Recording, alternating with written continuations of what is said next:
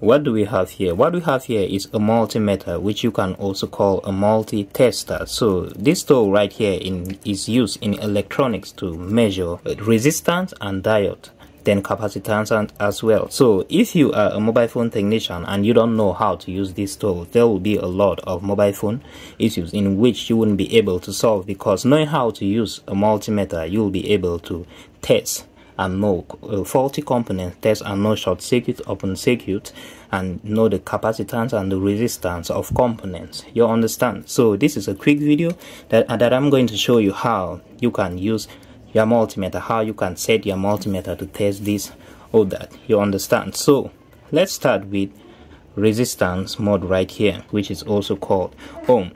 And this side right here, which is a V with this uh, marked right here. This is the DC section. So we are going to start with a resistance right here. I'm going to show you how you can I'm going to show you how you can set your multimeter and what you can test in case you set your multimeter to a particular range. So let's start with this uh, range right here. So if you look at your multimeter doesn't matter the type of multimeter that you are using but if you look you might see the the diode symbol right here. This symbol right here is the diode symbol and this one right here is the buzzer mode symbol. So in this multimeter this range right here is being merged with the diode testing then with the buzzer mode testing. But in some multimeters you will see this differently. You understand? So if you want to measure anything that is uh, a cable anything that you need to hear a sound or you want to measure anything that will show the resistance a low value resistance which is below 1000 kilo ohm then you are going to set it right here. So to break it down if you want to test and see if a mobile phone is shorting you have to set your multimeter to this buzzer mode right here. So let me show you what i'm talking about right here. Said i have a mobile repairing course in which i teach how you can repair and troubleshoot any type of mobile phone problem from the basic to the professional level of troubleshooting. And in that course i have a particular topic about a multimeter in which i have shown how you can use all these options in your multimeter in a very detailed way. You understand? So if you register to the course it's your own time to learn a lot about mobile repairing. So if you want to test and see if this mobile phone is shorting or if there is an open circuit, you are just going to set it right there, then test. So if you test the, the battery positive and negative, then you don't see any sign you test the battery positive and negative and you don't see any ohm reading in your multimeter right here that means that there is an open circuit. The circuit of this uh, mobile pcb is not completed. You understand. But when you test and you hear a beep that means that there is a short circuit in this PCB and the, the PCB is just like a cable which supposed to be like a, a full circuit that has resistance. So any circuit that has a resistance like they have used a kilo ohm resistors in it it does not supposed to have a continuity a connection. It does not have to beep when you are testing it. So there are some resistors that cannot read right here. Resistors that are high value resistors cannot read in this particular section. So for example if you are testing resistors below. If you are testing resistors which is below 200 ohm you can test it right here. But if you are testing resistors which is above 200 ohm resistor then you are going to set it to 200 you understand? So how can you know these resistors? You can know these resistors by using schematics or using the number behind the resistors and searching them online to see the exact value of that resistor so like i said if you are testing a resistor which you know know very well that a resistor is supposed to be below 200 ohm right here which is the resistance then you can set it right here. So if you are testing a resistor which is a kilo ohm resistor right here it will not read and that is because the multimeter cannot measure the resistance of the high value resistor right here. Even if it reads it will not give you the correct value. So setting it where it's supposed to be you will get the correct value in that in your multimeter. So if i want to measure something like a coil right here a coil is supposed to be like a cable which means that i'm going to set it to buzzer mode right here. I have to set my multimeter. To buzzer mode right here. A coil does not have resistance like resistors. You understand? It's supposed to be like a cable. So let me just look for a coil right here which you can also call an inductor.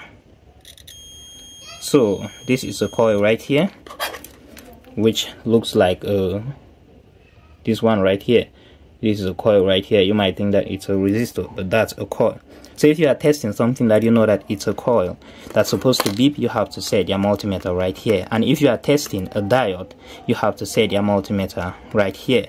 So for example if I want to test this diode right here so this is a diode. This is a diode right here.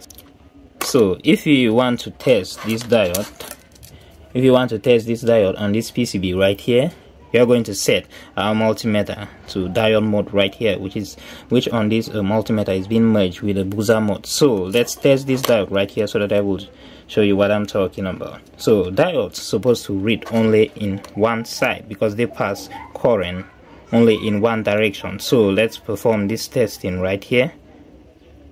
And you see that it reads. So when it reads then you have to turn to the other side and test it again. So so now that I have tested the diode in both reverse and forward mode and it gives a reading right here that is not a correct reading because the diode is supposed to pass resistance only in one side. It's supposed to pass a reading a connection only in one side. So because you have tests in both sides when the diode is being mounted on a PCB you have tests in both sides then you get a reading in both sides. Does not mean that you just have to conclude that the diode is bad. Remember there, this diode right here is connected in parallel connection and there are some resistors in this line that are being connected in parallel as well. So those resistors can cause this reading right here which and what I'm saying right here is that for you to test a diode and conclude that the diode is bad you have to at least remove the diode from the PCB or just check up one side remove one side from the PCB then test. So from there if you get the reading on both sides that means that the diode is bad you understand. So that is how you can use this section right here to test this diode mode right here. So like I said if you are testing a resistor right here in this buzzer mode and the resistor does not read because normally there are high value resistors on this PCB sometimes 8 kilo ohm resistor.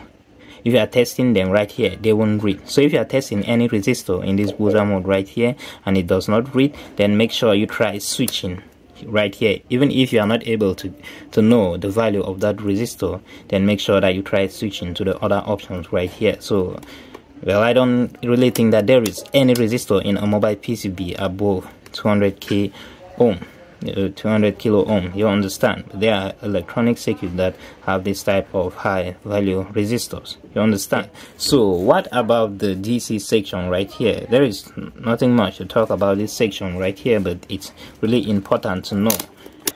So this is our dc section which is not a big deal to use in a mobile phone. So we have the uh, 2 volt right here. We have 20 volt right here. We have Uh, a 200 volt and we have 1000 volt which is DC any voltage between 2 to 20 volt you can test it right here.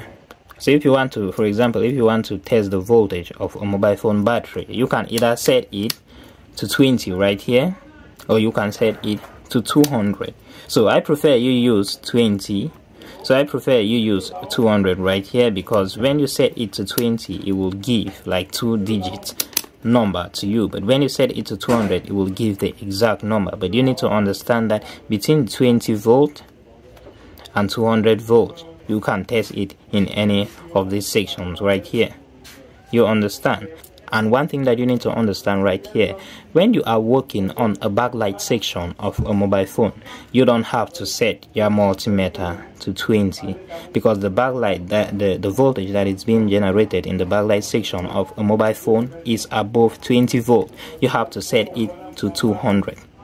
So, I have a mobile repairing course in which I teach how you can repair and troubleshoot any type of mobile phone problem from the basic to the professional level of troubleshooting and in that course I have a particular topic about a multimeter in which I have shown how you can use all these options in your multimeter in a very detailed way you understand? So if you register to the course it's your own time to learn a lot about mobile repairing. So if you haven't subscribed to this channel make sure that you like this video and subscribe then leave a comment down right there in case you have a question to ask